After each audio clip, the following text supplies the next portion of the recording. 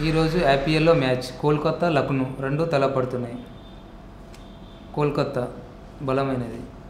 లక్నో కూడా బలమైనది. ఇప్పుడు ఏది రెండు ఏది గెలుస్తుందో చూద్దాం కార్డులో వేసి. లక్నో.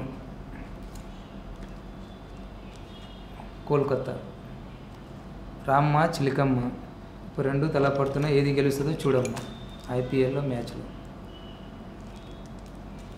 చిలకమ్మ కార్డు తీసింది.